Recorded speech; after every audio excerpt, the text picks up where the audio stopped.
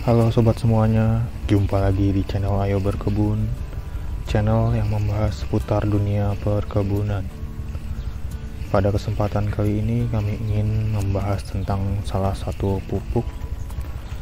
Ini namanya pupuk PN Kristal Merek dari Pak Tani.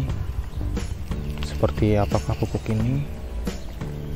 Langsung saja kita bahas ya sobat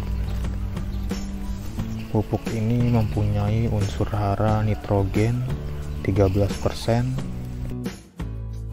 serta potasium K2O 46%.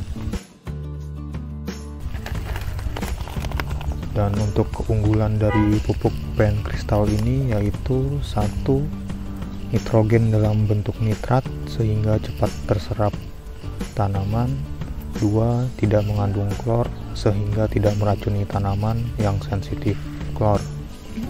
3. Mengandung unsur kalium yang tinggi sehingga mampu mencegah kerontokan bunga dan buah. 4.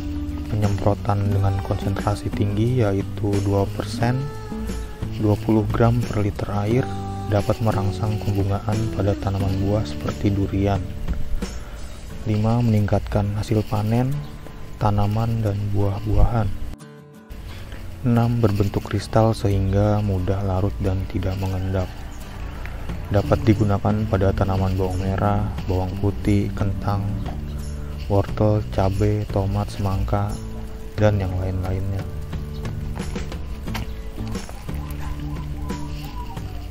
Untuk cara aplikasi pupuk PN kristal ini bisa dengan dua cara, yaitu dengan cara disemprotkan dengan konsentrasi 2-10 gram per liter air.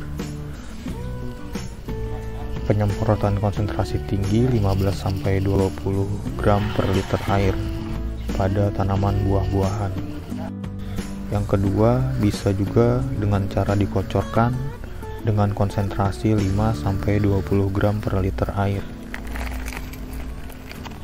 Untuk rekomendasi pupuk PN kristal sebagai pupuk pupuk susulan aplikasi dengan cara semprot. Ini dia dosisnya yang sobat ya. Padi 2-5 gram per liter bawang merah cabai dan yang lainnya. Nah seperti apa pupuk PN kristal ini?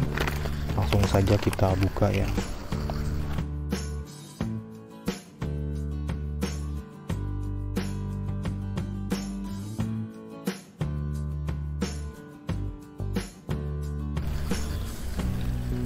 ini dia ya sobat ya bentuknya. Kristal seperti seperti garam ini halusnya. Agak kasar-kasar sedikit. Ini ada yang menggumpal juga mudah dihancurkan. Dan mudah larut dalam air ini.